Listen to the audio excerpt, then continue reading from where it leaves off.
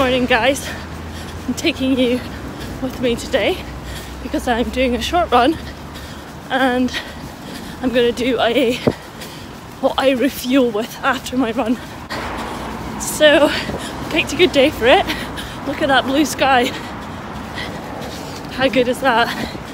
So I'm just running down the road part of my run at the moment.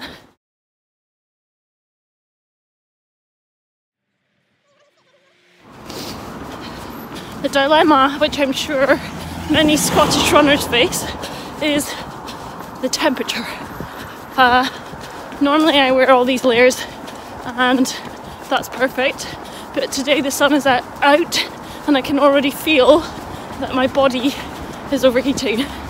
So that's going to be less than pleasant, but we'll keep going. And for any beginners, this is the the speed test. You want to when you're running, you want to be able to talk. Um, I might be running faster than you would as a beginner, but this is still my comfort test because I can talk perfectly well whilst running. Um, so it's about another mile until I get onto the kind of old railway line where uh, I do most of my running and training. So this is where I'm going to cross the river, and it's pretty, so I'm going to share that with you as well.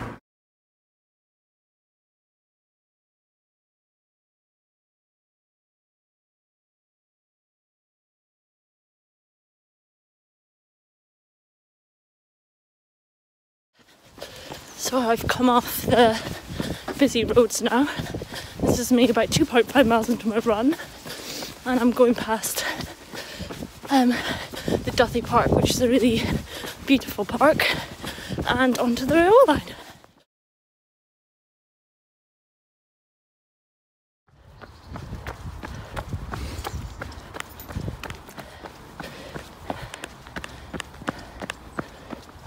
This is the old rail line, which allows me to run uh, about eight miles out this way. That's so quiet and peaceful. Today I'm doing five, uh, sorry, I'm doing 10 in total. So I'm going to switch this off so I can actually enjoy my run. So I'll film some more towards the end. Uh, but yeah, I'm just going to enjoy it now. That's me actually gone beyond my five mile turn point. I didn't really even notice. So I'm just going to turn around in a minute and run back. This is how lovely and quiet it is here. I think we'll go to the bridge. That little spear on top of that house there. Turn around there and run back. Look at these skies. Can you even cope how beautiful Scotland is today.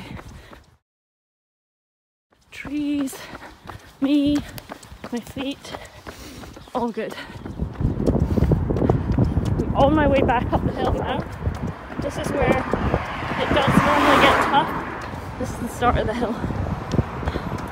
It gets steep, so I need to concentrate here.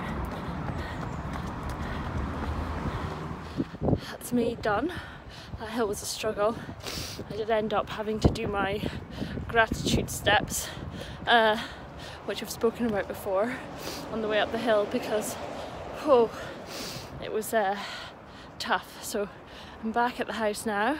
I'm not going to bore you with my stretching. I'll take you inside. Um, I've taken off like my really wet clothes um, from sweating and um, I the first thing I'm going to do is have a hydration sachet.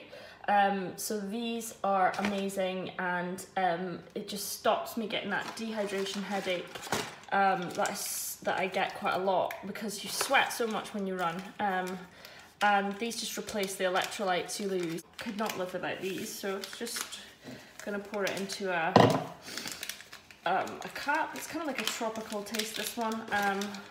Vitamin C to help maintain the normal function of the immune system after intense exercise, and vitamin E to protect cells from oxidative stress. Um, and it also has six electrolytes in it. So, yeah, that's just the kind of Gonna drink that whilst I am making a protein shake, which is something I always have. Um, sort of the first 30 minutes after you've run is the best time to replenish and also when your muscles are trying to repair from the exercise and protein is key for that.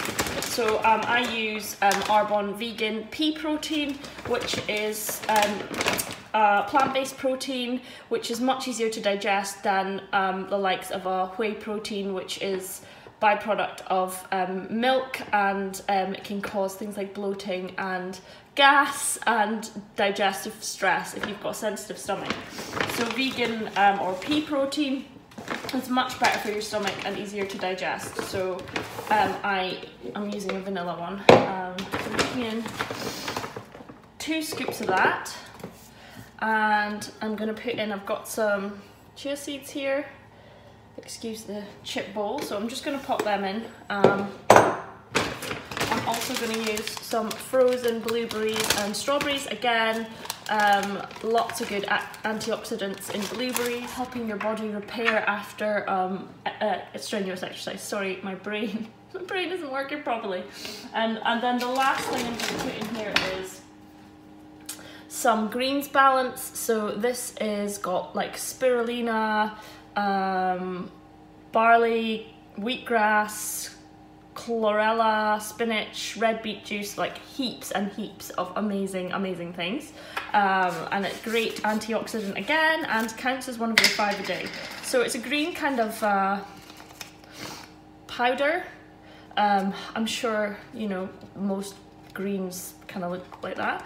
Um, it's not something I particularly like to have on its own. It's got quite a acquired taste. But um, I, I just put it into my shake and don't even notice it, getting all the benefits. And lastly, can't make a shake without a banana. This one's a little bit brown, it's like the other half of the banana I had this morning. So I'm just gonna pop in half of that. And then lastly, we need some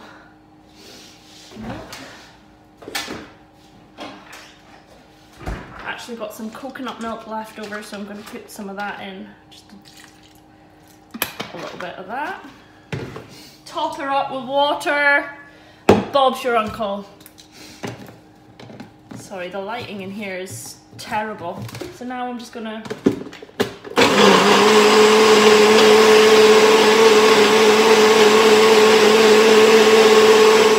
blitzing this up in the NutriBullet. Honestly, cannot wait to drink this. This is what I look forward to when I get back from my run. Um, so it's gone a really purpley colour. Oh yeah, that's good. Just what I need.